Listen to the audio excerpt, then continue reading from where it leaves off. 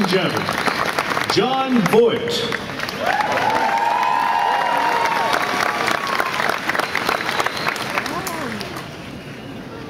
I'm very happy to be with you here to share with you the joy and meaning of Christmas. We must all thank God for our freedom to worship the holy holiday, for there are those secular people who try to take away the true meaning of this glorious holiday. Let us hold this meaning of Christmas close to our hearts forevermore.